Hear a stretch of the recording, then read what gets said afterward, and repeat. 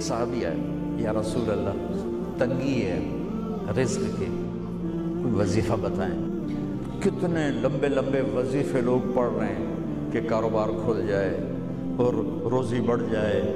کتنے لمبے چوڑ، کتنے کتابوں میں ایڈے ایڈے بڑے وظیفے لکھے پہ پڑھ پڑھوں یہ مندہ بڈھا ہو جائے میں قربان جاؤں یا رسول اللہ، آپ کی شفقتوں پر، آپ کی رحمتوں پر۔ سنو، یہ کرو۔ میری بات نہیں ہے، میرے نبی کی بات۔ تجربے کی وجہ سے کرو گے تو کچھ نہیں ملے گا۔ یقین سے کرو گے تو دروازے کھلتے دیکھو۔ کہ یا رسول اللہ ارید ان یوسع علیہ رزقی میں چاہتا ہوں میری روزی کھل جائے۔ تو آپ نے کہا، ادم علی الطہارہ یوسع علیہ کا رزق تو باوضو رہا کر تیرا رزق کھل جائے۔ گا